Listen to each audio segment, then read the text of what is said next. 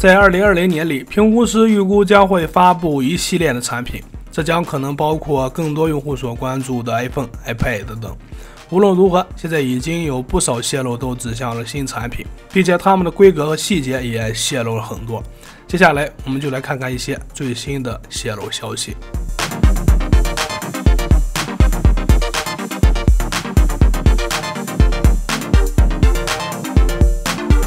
现在我们提到的 iPhone SE 二，它现在又有了新的称呼，被认为是 iPhone 九。二零二零年春季预计三月份内，苹果将会发布全新的廉价版 iPhone。外形上，它与 iPhone 八很相似，这也正是苹果在 iPhone 八系列发布后直接推出 iPhone 太后而缺席的一款产品。预计 iPhone 九的缺席由今年来扮演。它为最低端、最入门规格的产品。其中引用业内消息人士称，iPhone 九将使用4.7英寸的 LCD 屏幕，这意味着它将继续使用 iPhone 八类似的设计。保留额头和下巴，并且使用 Touch ID 指纹解锁，但处理器已经升级到了 A13 芯片，具有 3GB 的运行内存，机身存储规格提供 64GB 和 128GB 两种供用户选择。机身背部并继续使用单个后置镜头。iPhone 9在渲染图上，实质已经有了多个模型被放出来，但最终看着它都与 iPhone 8设计很像。iPhone 9将提供不同的颜色，包括黄色和红色，以及传统的黑色和灰色。边框过渡上，它也配备了大框架，看似经典前卫。但无法确定的是，苹果公司最终设计会是这种方案吗？现在更多的只是猜测。还有传言称，它的六四 GB 版本价格为三百九九美元起。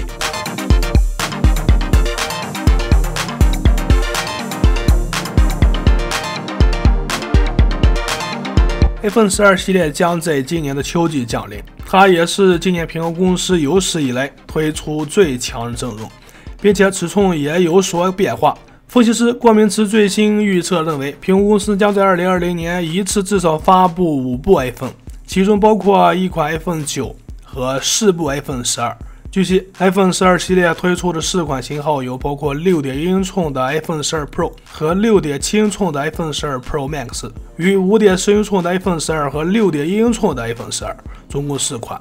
所有四款新 iPhone 都将配备 OLED 屏幕，而且金属中框类似于当初的 iPhone 四的设计。它的售价预计起为六百四十九美元，这是欧美地区。关于 iPhone 十二的设计，现在市面上的泄露截然不同，包括有刘海设计和无刘海的设计。无论是采用保留原始刘海方案，但它们内部的传感器元件都是一定有升级的。以无刘海的设计方案是泄露后最引人注意的。其设计方案泄露指出是将传感器和自配镜头移至顶部边框内，并且这些传感器将更精密、更小，而且也更先进。这种方案从而消除了不规则的刘海缺口。现在，如果泄露的无刘海方案成立，这将重新定义 iPhone 在视觉上的冲击，从而脱颖而出。另外，苹果分析师郭明池还认为，2020年 iPhone 将回归于类似于 iPhone 4有过的经典边框机身，这与当前弯曲的流行圆角边框完全不同。这一个 iPhone 12系列机型在机身后面背板中或将还会出现后置四镜头。包括三后置镜头加一颗调 f 镜头，并且在摄影和视频录制方面也会有更好的稳定性。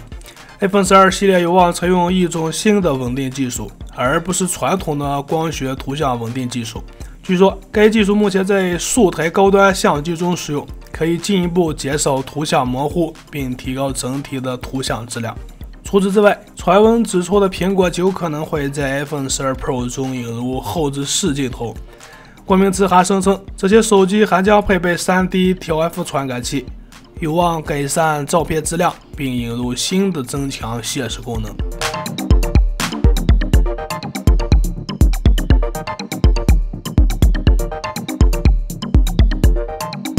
苹果下一代 iPad Pro 在今年将会亮相。因为我们在2019年里并无看到关于 iPad Pro 的更新，iPad Pro 2020款届时发布将会推出两款型号，包括11英寸和12.9英寸，发布时间会在今年的第三季度开启。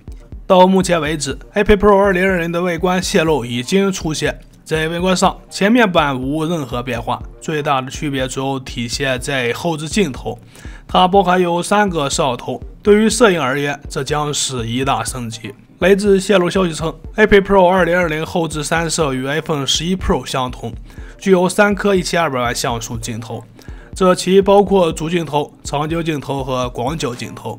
除此之外，还有分析师指出，iPad Pro 2020在屏幕上可能会使用更好的面板，被认为是 Mini LED 屏幕，它将代替现在的 LCD 屏幕，这意味着屏幕质量会更好。一般而言，LED 面板质量要高于 LCD。其次，Mini LED 是一种轻量级技术，因此具有该屏幕技术的 iPad Pro 可能比以前的型号更薄、更轻。Mini LED 屏幕将于2020年第三季度在12.9英寸的 iPad Pro 中首次亮相，并且还会配备性能更强的 A14X 芯片组。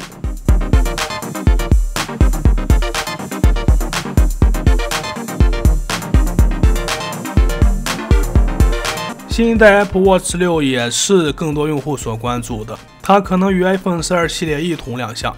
现在来自泄露指出，在屏幕上，Apple Watch 5已经使用了 OLED 屏幕，Apple Watch 6将可能使用 Micro LED 屏幕。它的主要优点是具有更高的节能效率，毕竟 Apple Watch 更多人吐槽的是它的续航。另一个泄露指出，它可能还会添加 Touch ID 指纹扫描仪。目前，Apple Watch 系列产品没有任何生物识别安全性，但在屏幕上内置指纹仪将是更安全的巧妙的一种方案。还有传言说法指出，新的 Apple Watch 6具有更快的性能、更好的防水性和改进的无线充电，同时睡眠跟踪将成为一项重大升级。其他有关于新的功能和更健康的详细功能介绍，暂时泄露并不是太多。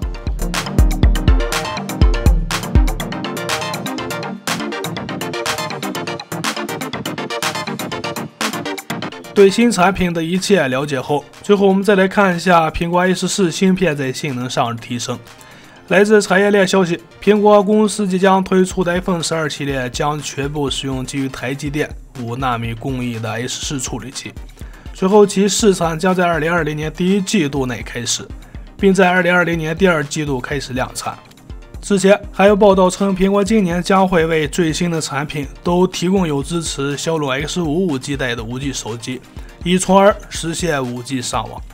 尽管全部为 X55 基带，但它仅支持 6G 赫兹或同步支持 6G 赫兹和毫米波，并且苹果公司对支持 5G 的 iPhone 12表示很乐观，也认为出货量将超过一亿部。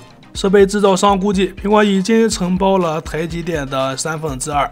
并且五纳米产能将在二零二零年第二季度大规模量产。先前的报道称，台积电的五纳米良品率已攀升至百分之五十。目前公开的第一批五纳米消费产品包括苹果 H 四和华为的麒麟一千系列等。性能上，根据台积电的官方数据，它与七纳米相比，基于 A72 内核的新型五纳米芯片可提供一点八倍的晶体管密度。将可以在速度上提高百分之十五，或将功耗降低百分之三十。好了，今天的视频内容就这么多，欢迎关注、点赞和留言互动，下期内容我们再见。